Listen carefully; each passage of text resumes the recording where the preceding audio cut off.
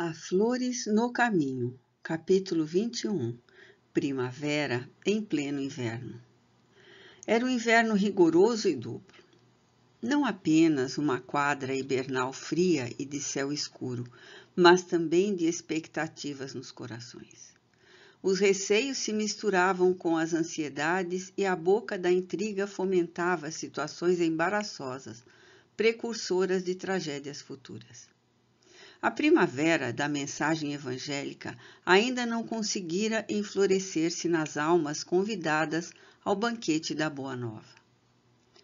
Despreparados para os grandes voos porque se negavam à sese libertadora, os homens preferiam o marasmo à sublime aventura, o vale sombrio às cumeadas gloriosas.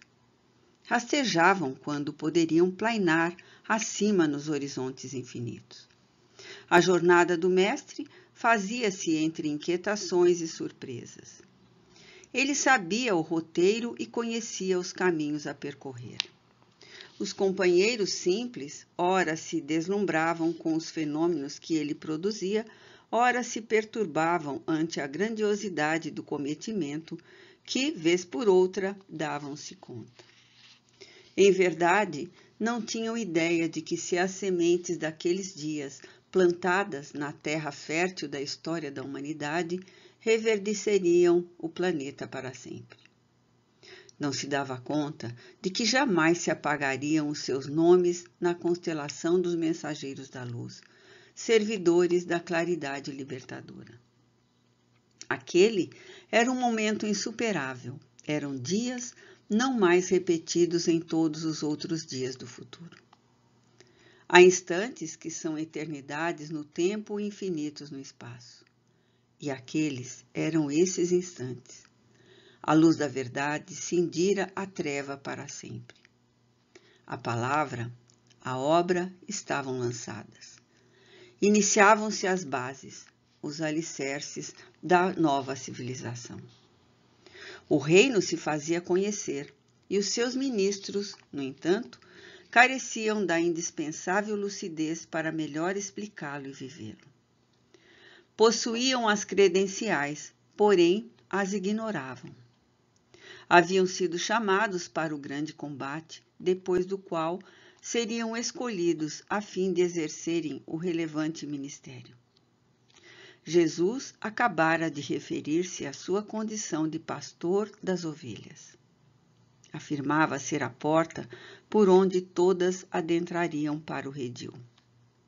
Mais de uma vez identificara-se.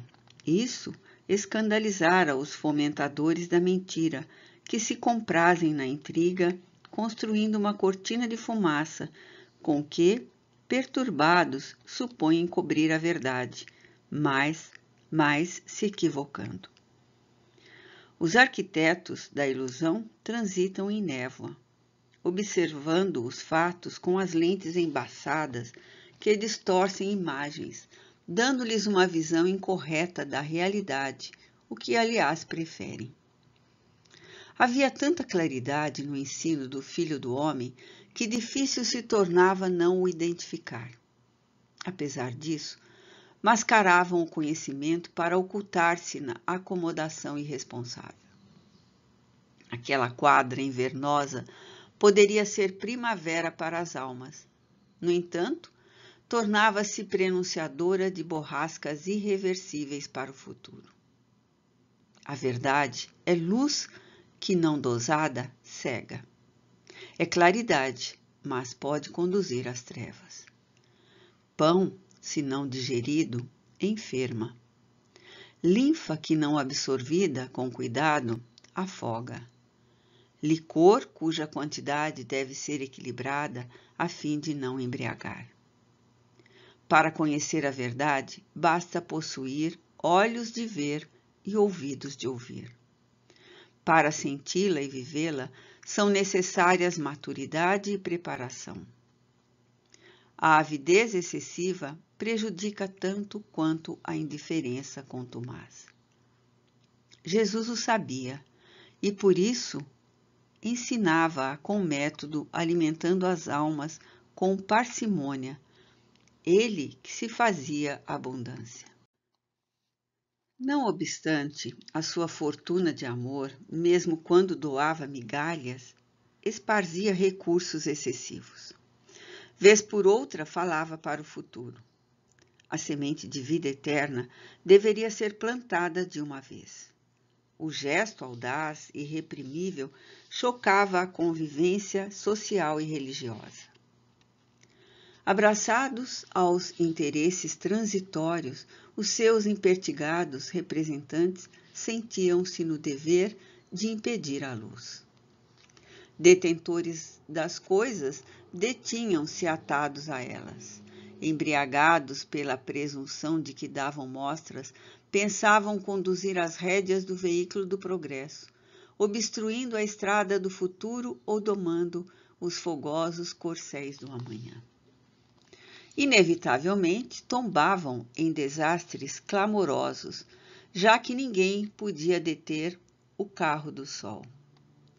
Provocadores quão insensatos tumultuavam a turba que os incensava em sua loucura alimento de que a vaidade necessita para sobreviver. A mesma multidão que um dia se atirou contra eles, os fomentadores da miséria moral, social e econômica. Jesus os conhecia e não os temia. Eles conheciam a Jesus e o temiam. A sombra se dissipa com a luz. A fraude receia a sua evidência. O engodo se atemoriza ante o fato. Assim, prossegue nestes dias, por enquanto se demorará em tais condições. Os homens aparentam querer a verdade que disfarçam. Dizem ansiá-la e adiam o momento de se identificarem com ela, porque a temem. A verdade impõe mudança de comportamento moral. Mata a ilusão. Os que estão distraídos têm dificuldade em adaptar-se à vida nova. Muitos gostariam de conciliar as situações que são opostas. Por não lograrem o intento, combatem os que são instrumentos da mensagem. Detêm-se realizados. Fecham os olhos e creem que é noite.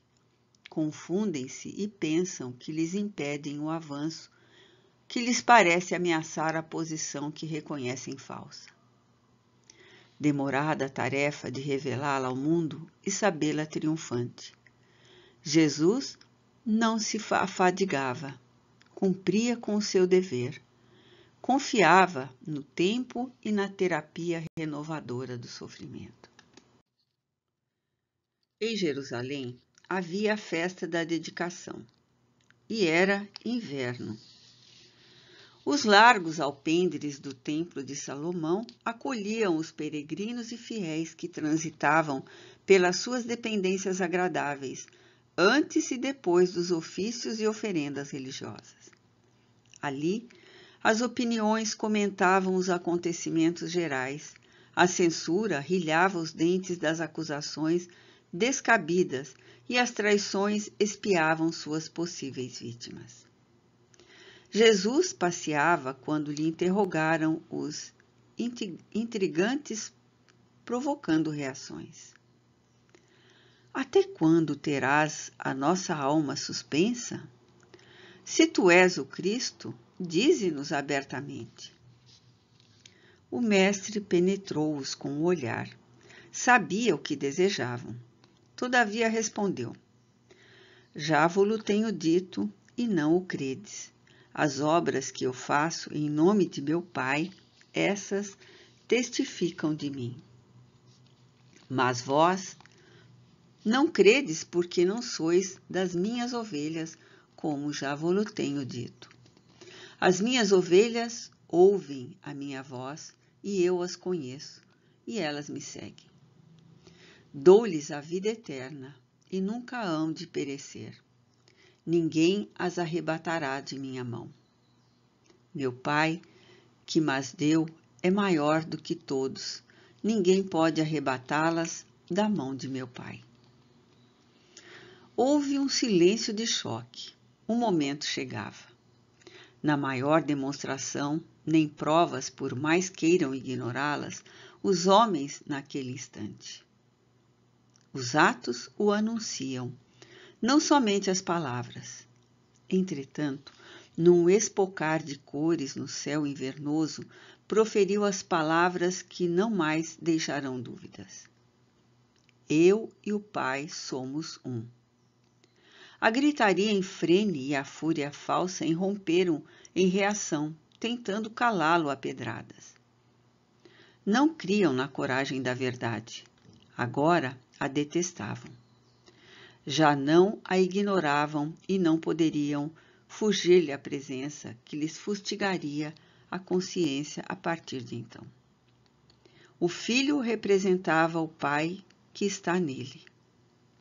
Esta identificação não pode ser tomada como pessoas distintas, fundidas numa só, tida por verdadeira. Ambos são verdadeiros. O filho depende do pai que o nutre e o vigora.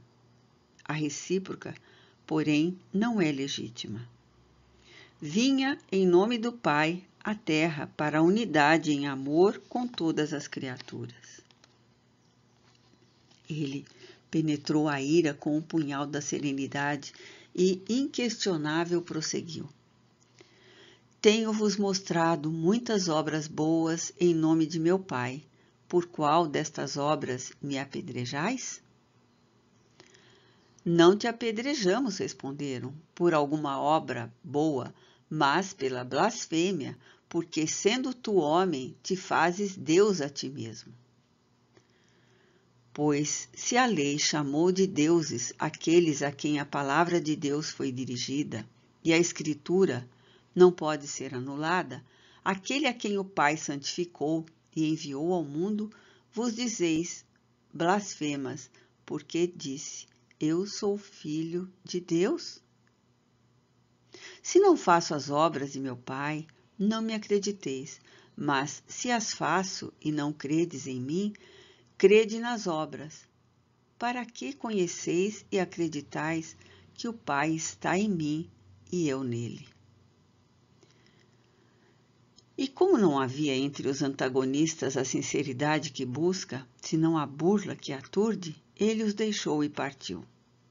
Em pleno inverno de Jerusalém e dos corações, a primavera de bênçãos para todo o sempre.